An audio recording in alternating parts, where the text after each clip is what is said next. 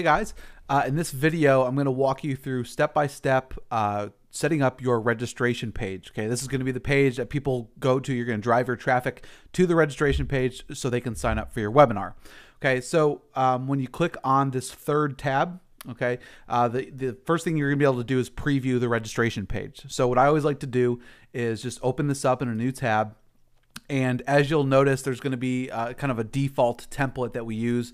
Uh, I'm actually going to use a different one. I'm just going to use this one. This is my favorite one here. So whenever I update the template, I can just go flip back to this tab and I can refresh the page and I'll be able to see it updated. So that's why I like to have it on a separate tab. Okay, now uh, going back to the registration page, what the first thing you can do is translate the uh, the months and the days. Okay, so if you're looking to translate it into a different language, we give you the option to be able to do that.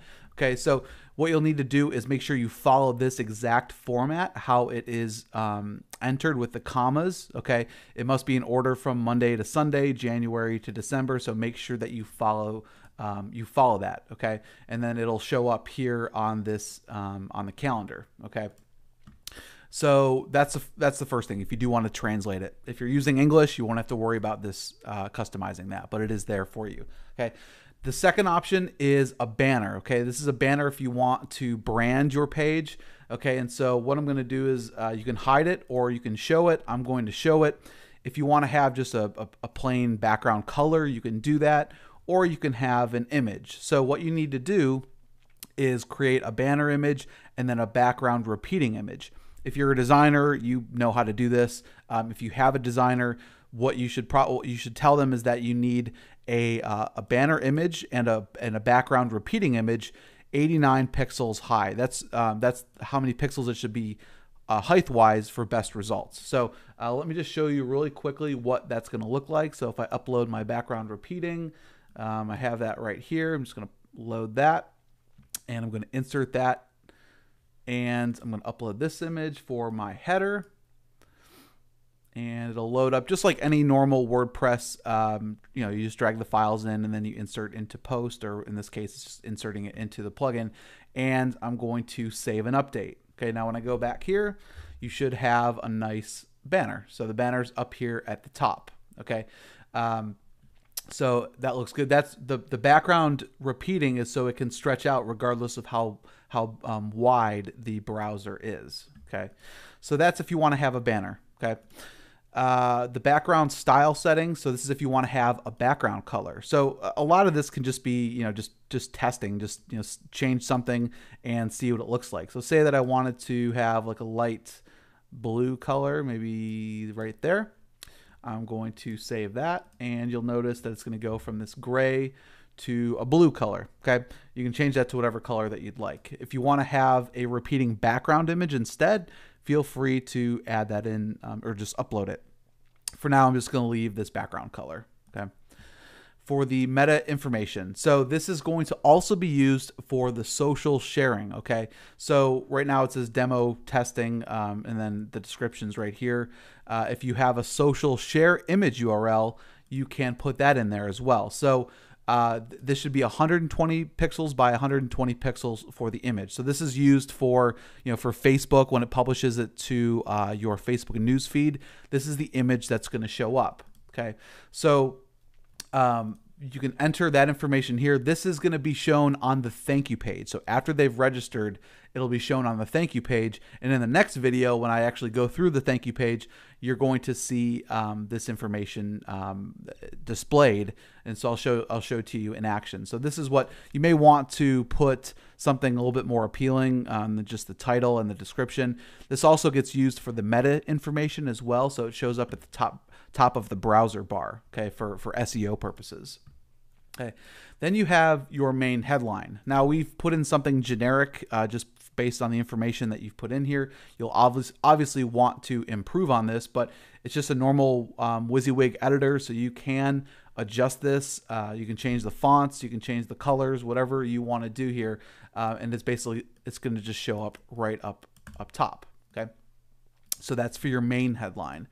Then you'll have your call to action area. Okay, the call to action area is going to be right in this section here. So you can have a video, you can have an image, uh, you could also change this color. So right now it's black. Um, what I'm going to do is I'm going to show a video. So with the video, all you need to just copy and paste your embed code right in here. Now, if you're using YouTube or you're using Vimeo, you can't. it'll automatically resize to the ideal width and height, which is 500 pixels wide, 281 pixels in height. Okay, so if I'm just going to uh, have a, a, a video here, I'm just going to grab the embed code from YouTube and I'm just going to copy it and I'm just going to paste it in here. So it's just the normal copy or normal embed code from YouTube. So I'm going to save this, save an update, and I'm going to and you'll see that it's right here. Okay, so um, right now it's not on autoplay. Okay, let me show you a trick. Uh, there's there's a little piece of code that I placed in the uh, in the training. Okay, you just need to add this question mark autoplay equals one to your video, and I'll show you where you put that. Okay, so in your video here, I'm just going to put it at the very end of this URL. So it finds this embed code URL and you put in question mark autoplay equals one and you'll notice that when I save that and I refresh you'll notice that it automatically starts playing okay? So that's what you want to do if uh, if you use YouTube or Vimeo. Now if you're going to use like a third party uh, video player like Easy Video Player or Easy Video Suite uh, it's go- you're going to have to resize it yourself. So you'll do that inside of the settings here. So right now you can see here's here's the video I have. Um, I want to make sure that it is, excuse me, uh, 500 by 281. So I'll just go in here and I'll put in 500. Okay. Um, right now I have it as 282, which that's close enough. Okay. And I'll set it to autoplay and I will save this. And then easy video player gives you the code right? So um, I would just copy and paste this code. Oops sorry I got a lot of a lot of windows open here. Instead of my YouTube code I'm putting in my easy video player code and I'm just going to click save.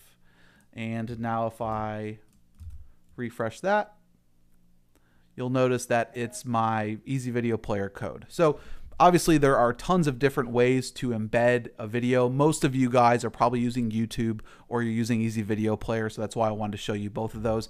Again just remember if you're using easy video player you have to resize it yourself within easy video player. If you're using uh, youtube or vimeo or a, a, a third party player like that it should automatically resize for you okay?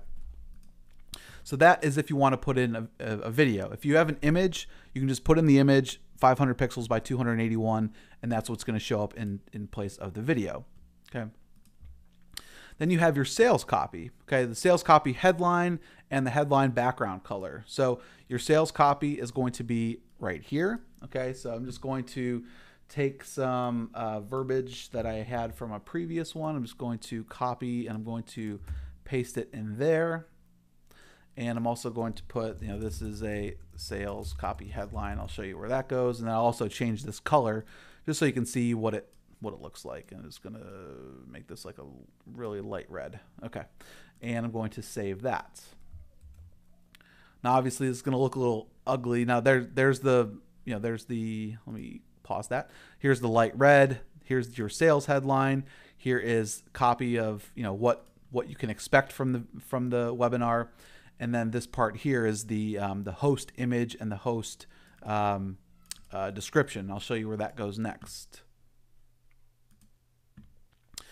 So then you have actually I'm sorry next is going to be your your opt-in headline. So this is your this is a opt-in headline so you can see where this goes. I'm going to save and update that. Okay, and that's going to go right there. Uh, you don't need to change that if you don't want to. I think uh, by default it just said you know reserve your seat. Okay, so that's completely up to you if you want to edit that. The opt-in uh, webinar date this shouldn't really change unless you're looking to translate it. Okay, that's why we that's why we have this option here. So you can see it just pulls in the date and time that you have specified before, October 10th, 8 p.m. Eastern. That shows up here with the count with the nice calendar. Okay, you don't need to change that unless you want to translate it. Opt-in form settings. Uh, I'm going to have a, a, a, separate video on how to embed your form. Okay, so, but this is if you want to enable Facebook Connect. So, if you want people to be able to connect, uh, or I'm sorry, register through uh, logging into Facebook, you can enable that. Okay, you can put in your what you want your button to say.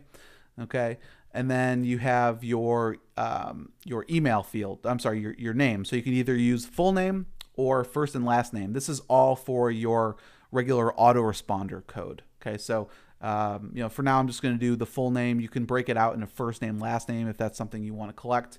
If you want to add in phone number, their Skype ID. Uh, if you want to have your own custom image button, you can do that.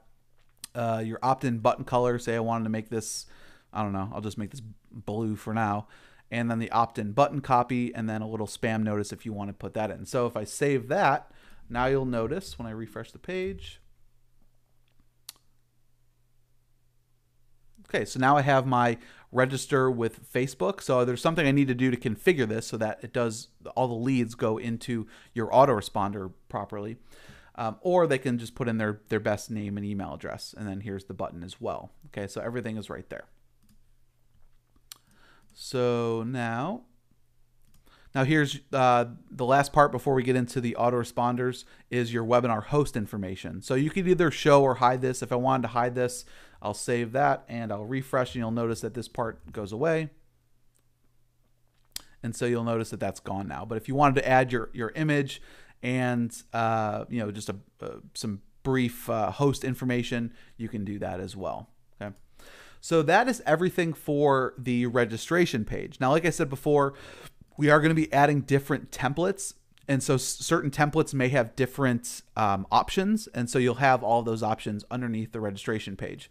Now obviously you're going to have to add a few things like your uh, what your webinar is going to be about in terms of the webinar content uh, maybe a video or an image but for the most part we try to pull in as much information as possible on this page so you don't have to, to worry about it. So this is how uh, you will configure your registration page Next, I'm going to be talking about the autoresponder integration and your Facebook Connect.